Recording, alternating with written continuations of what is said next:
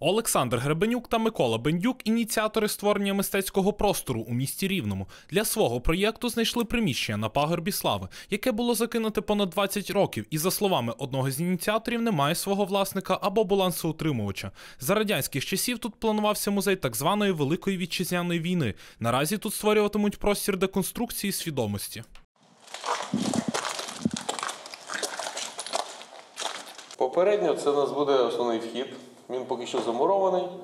Е, На момент реконструкції приміщення це буде е, технічний рівень, куди будуть там і кети, бобкети заїжджати, скажімо, будуть, будуть матеріали завозитись, але потім ми плануємо зробити основний вхід саме з цієї сторони е, нашого мистецького простору. Це технічне приміщення. Була, планувалася електрощитова, але так як зараз технології пішли вперед, в нас тут буде трохи інша система, але ну, можете глянути, що залишилось від електрощитової, від силового кабеля, який заходить там зверху. Перше, воно не квадратне. Це дуже великий плюс. От. І в то можна вкласти теж там різні цікаві всякі, да, що угловатость історії там і прочу ерунду. От. Е, друге, воно е, в такому стилі лофт ми не будемо його штукатурити. Ми не будемо його, це робиться, зачищається, підфарбовується потолок, робиться гарна підлога. Це все Фарбується фарбується в сіре, але залишається бетон. Планується зробити ж хаб.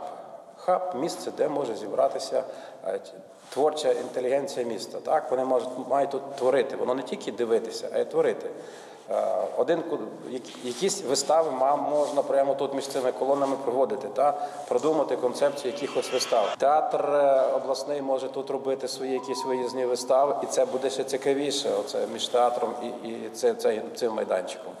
Художники, які прямо тут можуть творити мистецтво. Вони можуть робити інсталяції, можуть малювати, в, е, можуть сидіти, працювати тут, думати. Головне це бажання е, рівнян, міської влади, яка мала, має сюди долучитися і, власне, разом з нами це робити. За словами ініціаторів проєкту, концепція простору поширюватиметься і на прилеглу територію. ніби як небезпечні речі, але вони не такі вже страшні.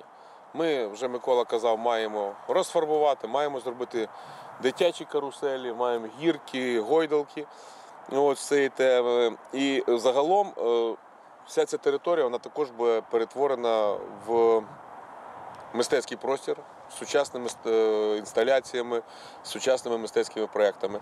Ну а парк, який знаходиться зліва, ми плануємо перетворити все-таки під парк слави. За попередніми оцінками, вартість проєкту становитиме понад 10 мільйонів гривень. Більшу частину цих фінансів планують залучати з коштів міста. На першому етапі планують оцінити рівень аварійності приміщення, а також розробити документацію на нього. Артем Остапюк, Валерій Мартинюк, Суспільне новини, Рівне.